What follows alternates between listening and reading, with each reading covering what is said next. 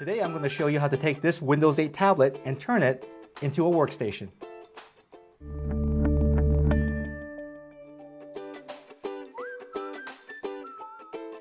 In order to build this workstation, you're going to need a few things in addition to your Windows 8 tablet. You're going to need a docking station, we chose one from Targus, your favorite keyboard, and mouse,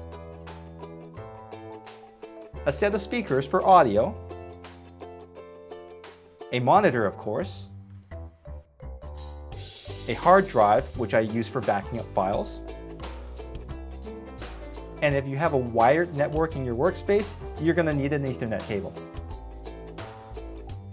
Next, you're going to have to plug everything in.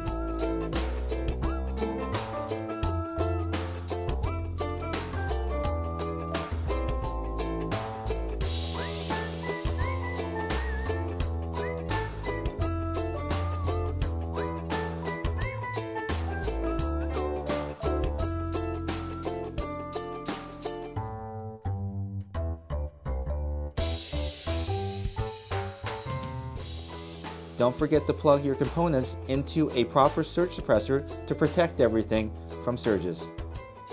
And finally, before you plug in your Windows 8 tablet, make sure that you have the latest DisplayLink drivers for the best possible experience.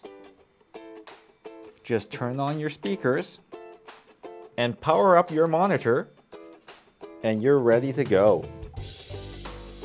And that's how you build a workstation using a Windows 8 tablet.